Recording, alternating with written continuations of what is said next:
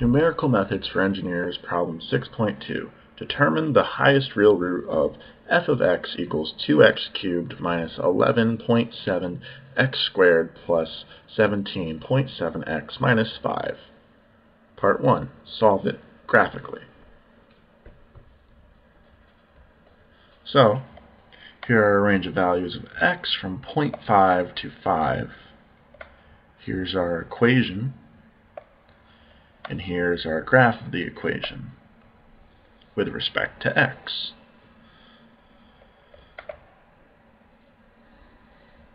As you can see, the graph shows that the function crosses 0 about at 3.5.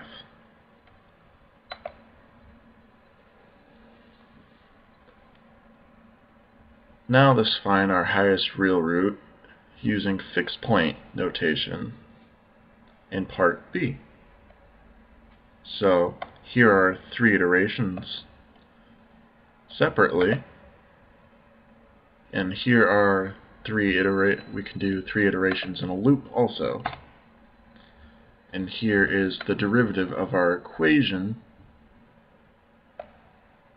so we can compute the fixed point iteration method. So let's show a plot for three iterations.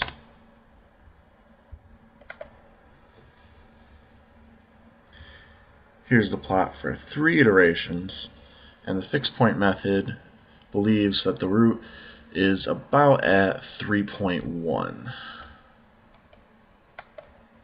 which is close but not exact. So, let's up the amount of iterations that we go through the loop to, say, 23.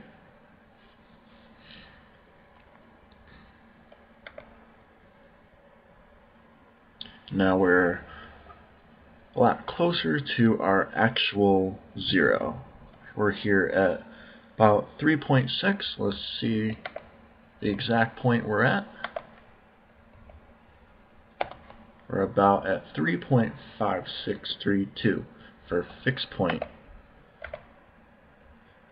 iteration method. And so let's move on to our next method. In part C, we're going to approximate the root with Newton's Raphson method for three iterations. So let's do that for three iterations. Here's our equation approximated for three iterations up here, starting at x of 0 equals 3, and down here is our loop to do three or more iterations. So let's plot this up.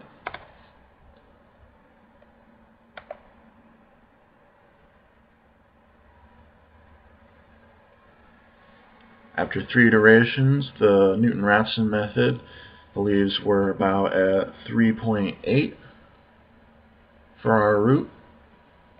So let's add some more iterations.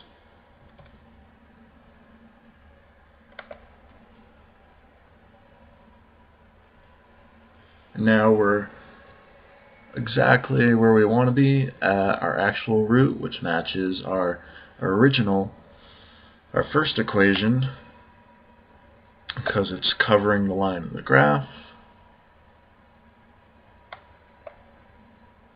So the Newton-Raphson method is now matching the fixed point iteration method. So let's just type in c of x of n.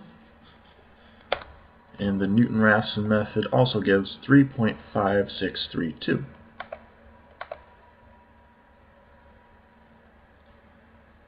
Now let's move on to part D, Find the secant method with three iterations with x negative equal to 3 and x sub 0 equal to 4. So, here's our equation for the secant method, gone out to three iterations. So, down here, here's our loop to do three or more iterations. So, let's plot it up for three iterations and see what we get.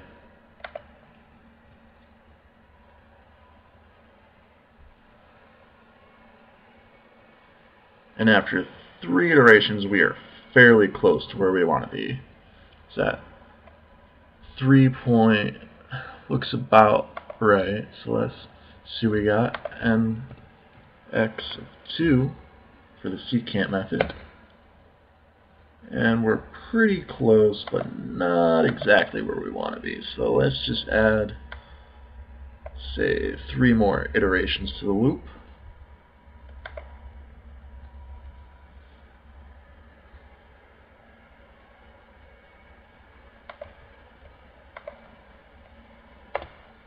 And we're exactly where we want to be for the secant method.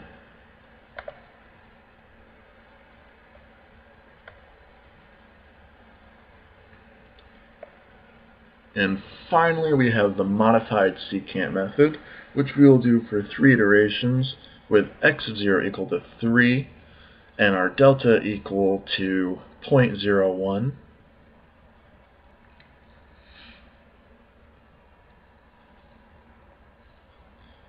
So, here's our equation for the modified secant method. Here is our loop. Let's put it at three iterations. Just plot it up.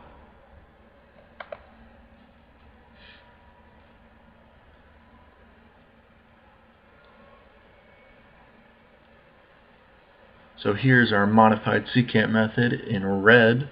And here are the rest of our approximations under the green line over here.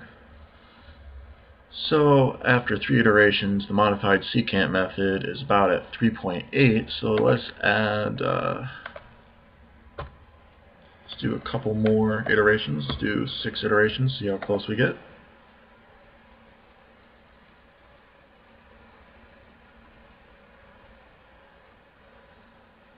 And after six iterations, we it looks like we're right where we want to be.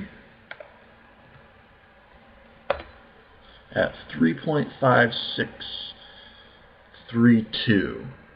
So we're exactly where we want to be for all our approximations. They're all at the same point, 3.5632 for our equation f of x equals 2x cubed minus 11.7x squared plus 17.7x minus 5. And that's it for problem 6.2 in numerical methods for engineers.